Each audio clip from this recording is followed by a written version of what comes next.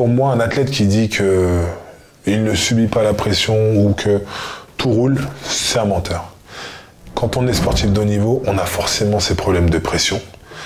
Après, il y a la pression positive et négative, celle qui vous transcende et qui qu'on arrive à gérer, et celle qui, ne, qui vous met dans des mauvaises conditions et qui vous empêche de faire.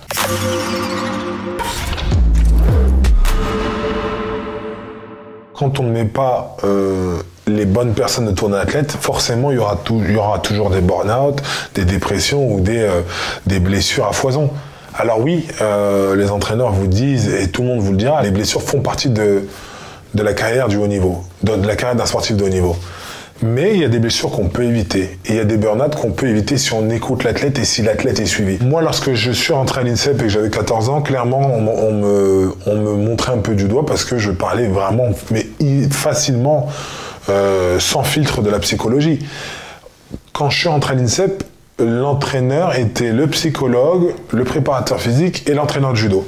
Moi, je suis arrivé, dès que j'ai fait mes premières médailles, j'ai dit non, je veux voir le psychologue, j'aimerais bien avoir un préparateur physique spécialisé dans la préparation physique et mon entraîneur de judo qui reste mon entraîneur de judo. Moi, j'ai été le premier, vu les refus que j'ai euh, pu avoir euh, par euh, le comité olympique, ou même par ma fédération, j'étais l'un des mecs à prendre dans mes bagages ma psychologue je payais tout parce que je sais les bienfaits que ça peut avoir d'avoir dans son, dans, son, dans son bagage un bon staff qui vous connaît, qui peut, vous, qui peut répondre présent au moment opportun dans la compétition. Quand on sait l'enjeu qu'est les Jeux Olympiques, il faut pas louper quoi que ce soit. Donc euh, moi, à chaque fois, j'emmenais ma psychologue. 2012-2016, j'ai toujours pris euh, à, ma, à mes frais euh, ma psychologue en 2020, j'ai réussi à me faire entendre.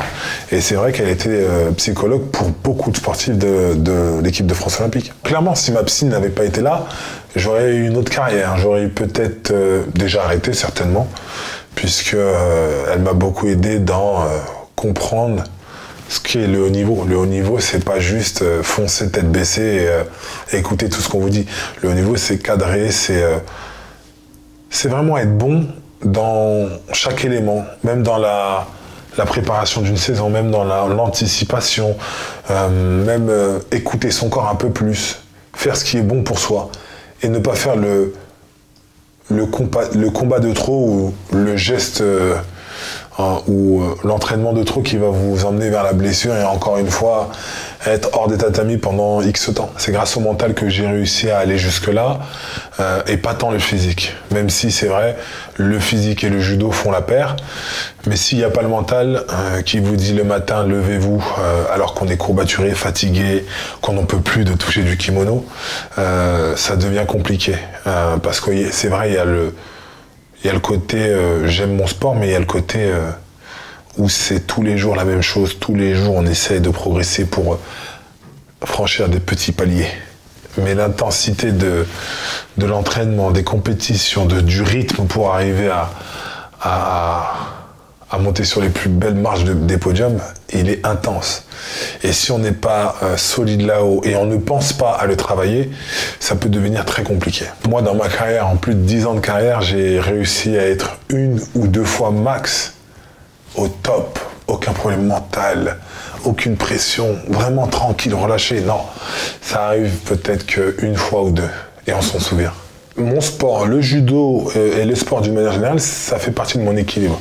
Je sais que parfois quand j'ai euh, un nœud ou bien que j'arrive pas à, trouver une solution dans une problématique, je vais courir, je fais du judo ou bien je m'entraîne et, euh, je sais pas qu'est-ce que procure le sport, mais ça me je me sens mieux, je suis plus apte à réfléchir derrière. C'est mon équilibre. Après, la question, c'est comment je vais faire quand je vais arrêter.